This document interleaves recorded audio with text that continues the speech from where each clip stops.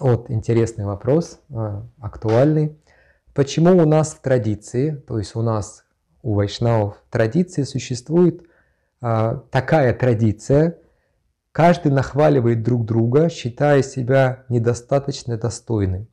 И почему иногда после прославления появляется неприятное ощущение и не хочется общаться с тем, кто тебя прославил, а иногда наоборот – Иногда наоборот ты корыстно кого-то прославляешь, какого-то старшего, и потом такие хорошие отношения с ним возникают. От чего это зависит? И тут несколько вопросов. Во-первых, откуда эта традиция появилась, что нужно прославлять других, а, а себя считать недостойным. Это традиция из духовного мира. В духовном мире они все такие. А они все а, смиренные, потому что понимает, что у меня нет никаких достоинств, никаких качеств. Ты говоришь, ну как же нет, от тебя сияние идет. Так это не я, это Господь.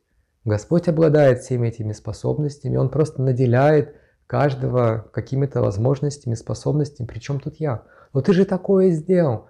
Это не я, это Господь. Поэтому вся заслуга Господу. Джай Кришна, Джай Шила Прабхупад, духовный учитель. Вот. В духовном мире все такие. Никто не считает, что он как что-то там из себя представляет. Я маленькая частичка, я просто слуга. А что у меня там есть, это Господь дал мне для того, чтобы я мог заниматься служением. Моей заслуги здесь нет. Называется быть смирение травинки. То есть нет ложного эго. В духовном мире нет, нет ложного эго, поэтому никто не гордится. Тогда как по отношению к другим они выражают почтение. А, выражают почтение почему? С одной стороны, потому что они видят, что все они, а, все эти живые существа, а уж тем более вайшнавы, они связаны с Кришной и представляют разные качества Кришны. То есть Кришна наделяет их способностями, и я вижу, это Кришна, это Кришна сделал. Я прославляю Кришну, прославляю вайшнавов, которые по милости Кришны делают такие вещи. Вот, поэтому а, в духовном мире они так, они, так действуют. Мы, как те, кто стремимся жить а, как в духовном мире, мы тренируемся это делать, мы тренируемся. И может быть не очень хорошо у нас получается, но мы должны стараться вот именно в таком настроении прославлять других и не ждать почтения к себе. И важная, очень важная вещь, если в кругу вайшнавов мы прославляем других вайшнавов. Да, важный момент здесь э, нахваливать другого, говорится.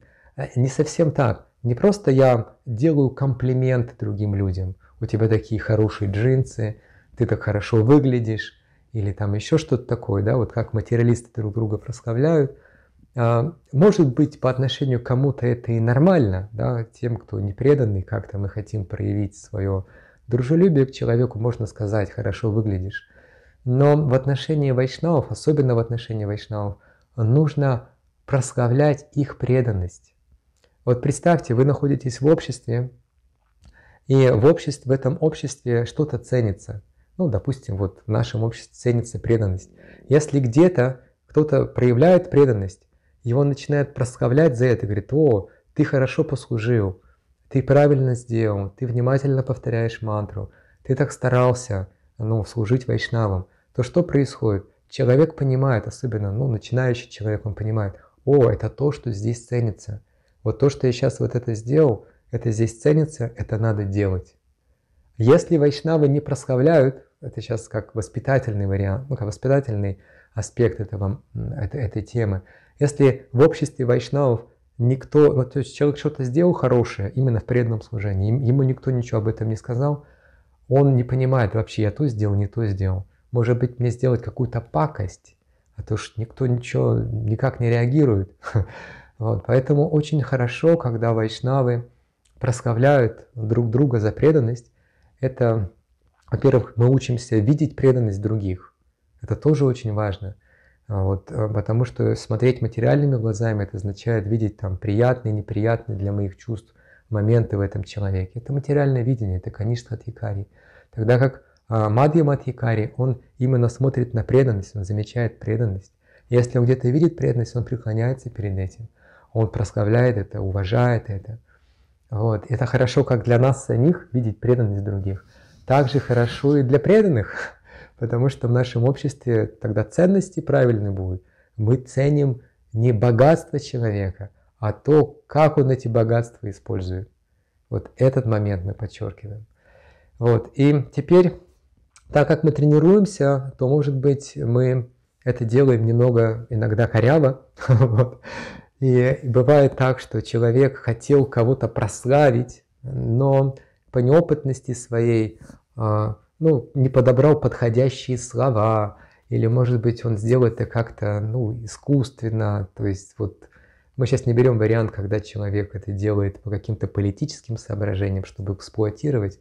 Это сразу чувствуется. Но бывает так, что человек там как-то старался, но сказал коряво, да, там какой-нибудь сильный, могущественный человек – а ему говорят, о, ты такой, ты такой, как балерон просто. И человек обидится, какой же я балерон, ты что не видишь, я этот, ну, атлант. И вот такие могут вещи происходить. Человек просто по неопытности. Я помню, когда Гуру Махарадж нам э, дал наставление не критиковать вайшнавов, а прославлять их, я пытался делать это. И я вдруг понял, что просто слов нет. Ты не знаешь, как, вот, как человеку сказать какие-то правильные, приятные слова. Опыта нет. И вот бывает так, что человек по неопытности вроде там как-то прославляет, но в итоге человек э, ну, как-то не понимает, обижается. Вот. Такое тоже может быть. Или наоборот, какой-то человек нас прославляет, и мы э, ну, а, как-то грубо отвечаем ему, говорит, что ты меня прославляешь. Нет, нужно э, ценить, просто надо, если вас прославляют, нужно а, понимать, что заслуга это не ваша, а, это заслуга вашего духовного учителя, поэтому надо об этом сказать. Я слышал от Гуру Махараджа, он говорил, что если вас прославляют, то через не дольше, чем через 5 секунд там, вы должны сразу же передать эту заслугу, которую приписывают вам, передать ее духовному учителю и Кришне. Поэтому прославляют вас, окей, здорово, преданные, они как преданные поступают, это их природа, и нужно говорить «да», здорово вы говорите, правильно вы говорите, но это не моя заслуга, это заслуга Гуру Махараджа, по его милости. Вот, если вы пытаетесь прославить другого вайшнава, тоже надо как-то этому поучиться, немного прославлять не за его джинсы, а за его преданность, вот, тогда будет правильно.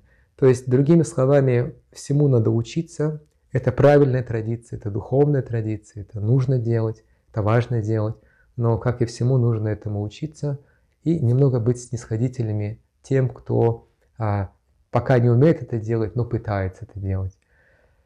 Ну вот что могу сказать на эту тему.